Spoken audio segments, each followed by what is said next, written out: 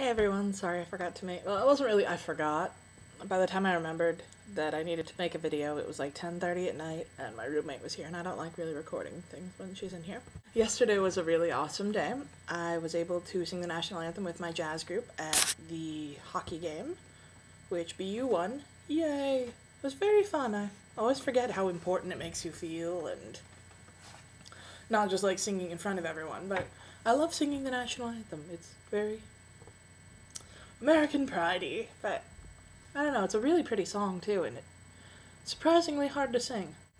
I got my taxes done today, and I'm getting a nice refund, looking forward to that. I had started doing them online, but TurboTax was like, you have to pay Pennsylvania $100.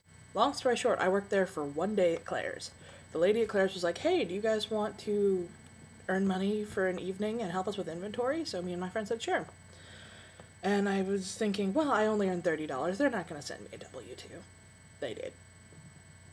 So I got the W 2 and I'm like, okay, I don't have to file. It's $36.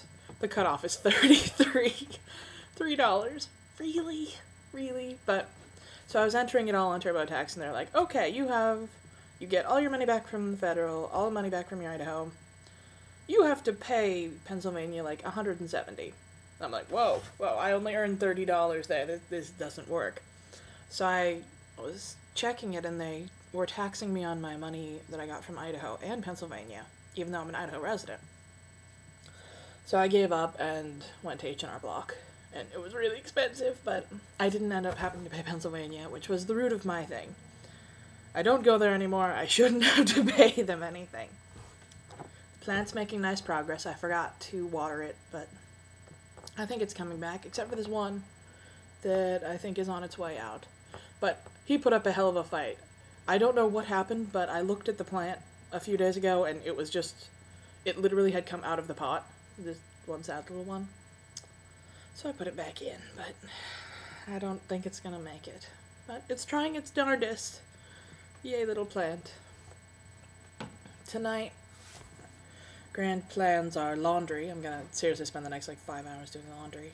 I haven't done it in two weeks. And I'm going to the Choral Society concert. It's always weird to go to concerts where you're not singing. Especially since I was in Choral Society last semester. I decided not to continue because number one, it cost money, and number two, oh god, I'm gonna sound like a snob, but I wanted a better group. I've been singing in groups since I was in like third grade. And I've been in auditioned groups for the last like nine years.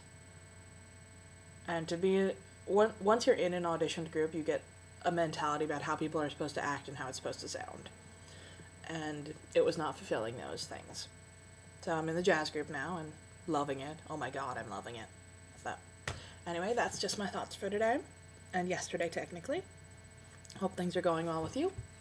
And as always, let me know what you think. Bye.